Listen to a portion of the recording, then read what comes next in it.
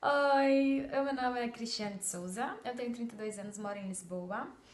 É, conheci a Bianca há cerca de. Não, vamos dizer 9 anos, é, no estúdio de dança em Linhares para fazer dança do ventre.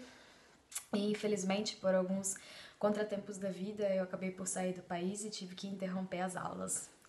Há dois anos eu sofri um acidente que é, parti um, fraturei um osso da, da perna e há cerca de dois meses eu fiz a retirada desse material. Foi logo quando começou essa coisa, uh, essa pandemia, essa crise por conta do corona. E as clínicas de fisioterapia fecharam e eu fiquei muito receosa de não conseguir é, recuperar os movimentos da, da minha perna, do, do meu joelho principalmente. Foi quando se acendeu uma luz no fim do túnel e a Bianca deu uma reportagem sobre as aulas virtuais que ela estava iniciando. Então eu falei com ela, falei, Bianca, quando o meu médico me liberar, eu quero voltar às minhas aulas de dança do ventre, quero fazer e vamos lá.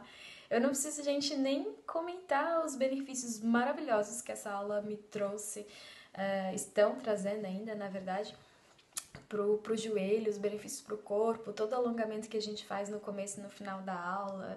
Eu tenho recuperado meu joelho de uma forma fantástica, mas tem que dizer também dos benefícios, olha, para a alma e para a mente e para autoestima e a energia que a Bianca consegue mandar estando a 7 mil quilômetros de distância para mim, de mim, ou mais, né? Essa energia muito boa que me faz muito, muito bem. Só tenho a parabenizar você, Bianca, por ter se adaptado de uma forma tão rápida e tão maravilhosa a esse momento de crise, de pandemia, esse momento tão atípico que a gente está vivendo. E dizer que eu estou amando, estou adorando as aulas e mais do que eu, quem está gostando mesmo é o meu namorado. muito obrigado e muito parabéns. Um beijinho!